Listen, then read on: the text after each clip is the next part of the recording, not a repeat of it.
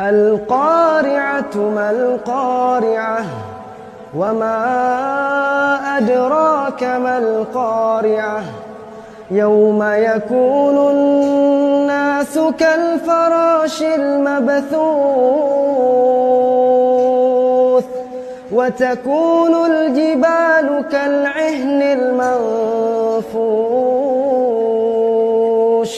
فأما من ثقلت موازينه فهو في عيشة راضية.